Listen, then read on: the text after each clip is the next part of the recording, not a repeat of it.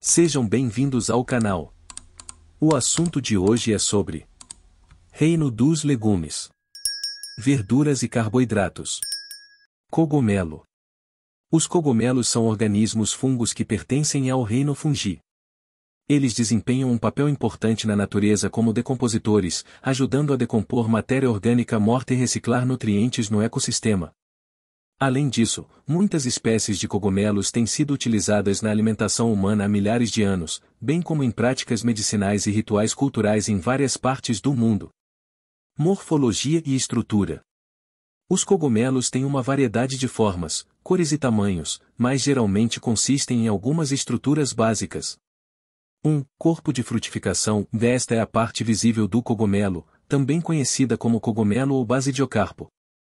Pode ter uma variedade de formas, incluindo guarda-chuvas, chapéus, cones ou formas esféricas.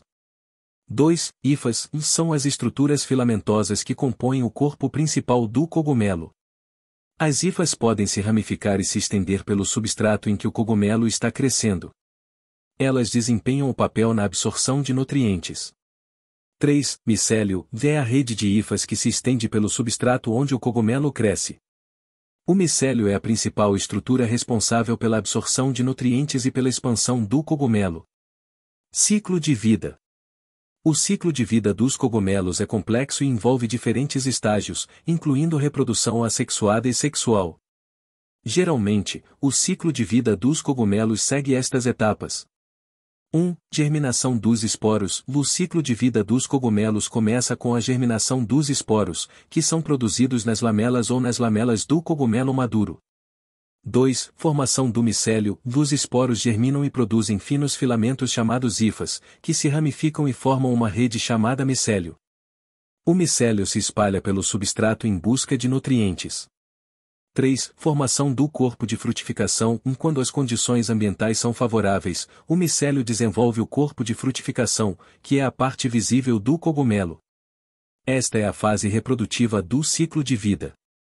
4. Produção de esporos. Dentro do corpo de frutificação, estruturas chamadas basídeos produzem esporos por meio de um processo de reprodução sexual.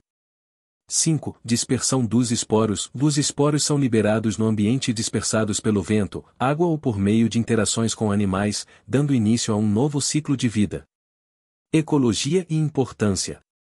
Os cogumelos desempenham papéis essenciais nos ecossistemas terrestres, atuando como decompositores na reciclagem de matéria orgânica. Eles ajudam a decompor folhas caídas, madeira morta e outros detritos orgânicos, liberando nutrientes que são essenciais para o crescimento de outras plantas.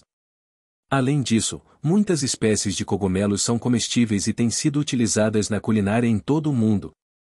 Eles são uma fonte nutritiva de proteínas, vitaminas e minerais e adicionam sabor e textura a uma variedade de pratos. Além de seu valor nutricional, alguns cogumelos têm propriedades medicinais e são utilizados na medicina tradicional para tratar uma variedade de doenças. Por exemplo, o cogumelo reishi é conhecido por suas propriedades imunoestimulantes, enquanto o cogumelo shiitake é valorizado por suas propriedades antioxidantes e anti-inflamatórias. Em resumo, os cogumelos são organismos fascinantes que desempenham papéis importantes na natureza, na alimentação humana e na medicina. Seu ciclo de vida complexo e sua diversidade morfológica tornam-nos objetos de estudo e admiração em várias culturas ao redor do mundo.